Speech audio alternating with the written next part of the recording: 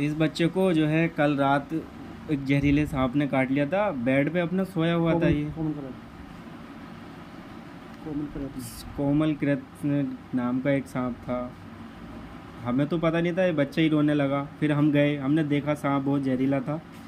तो इसको सांप यहाँ काट लिया था पैर में ना इसको इस जगह पे।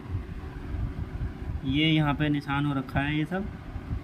तो हम लोग तो सब घबरा गए थे, बच्चा ठीक ही है। अब अब गुरु जी के पास आए हम ना। हमें किसी ने बताया कि ये गुरु जी थे हमारे ये। बहुत अच्छे और हर लोगों की मदद करने वाले अच्छे आदमी हैं ये। इन्होंने इस बच्चे की जो है जान बचा ली।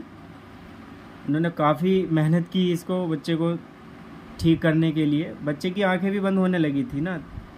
मतलब ये तो अपना होश बोश भूलने वाला था तो घबरा गए हम सब लोग। तो मैं जल्दी जल्दी यहीं लेकर आया इनको।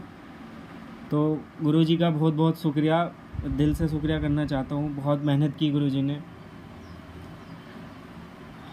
हमेशा गुरुजी को भगवान जी ठीक ठाक रखे और हम लोगों को दिन तारीख सर महीना वो बता बोल अभी कल का ही दिन है। सात छः तारीख की शाम को इसको बच्चे ने काट लिया था सांप ने।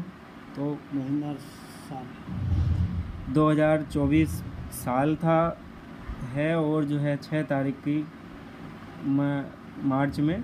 मैं तो अभी घबरा रहा हूँ, मैं इस बच्चे की ठीक ठाक देख करके। मुझसे बोला भी नहीं जा रहा कि अब उम्मीद छोड़ दी थी ना, अब गुरुजी का बहुत बहुत शुक्रिया। बस गुरुजी का मैं बहुत बड़ा फ़ैन हो गया आज से।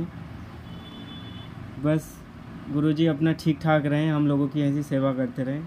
जी, जय श्री राम।